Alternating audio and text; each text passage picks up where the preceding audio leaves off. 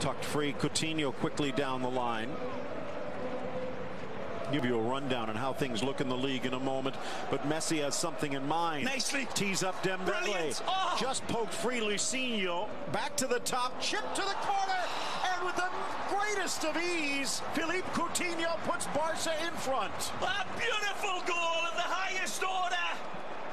And Coutinho, also known as Cool Coutinho, exemplifies just why he makes his finish look easier than eating a Havana Alfajore. And believe me, that's easy.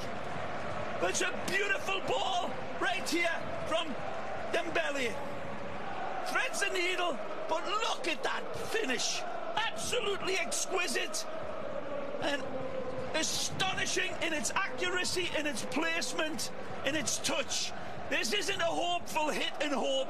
This is painted in like a Seurat dot in a wonderful painting. Magical from Coutinho. Third goal since jumping over for Barca mid-season.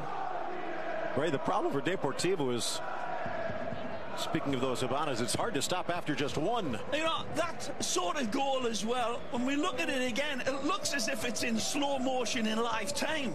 It's the, the wonderful art of slow the beautiful pass. There's nothing extraordinary about it, but it's absolutely perfect and allowed Coutinho to step through it and send it with a big bunch of roses around it.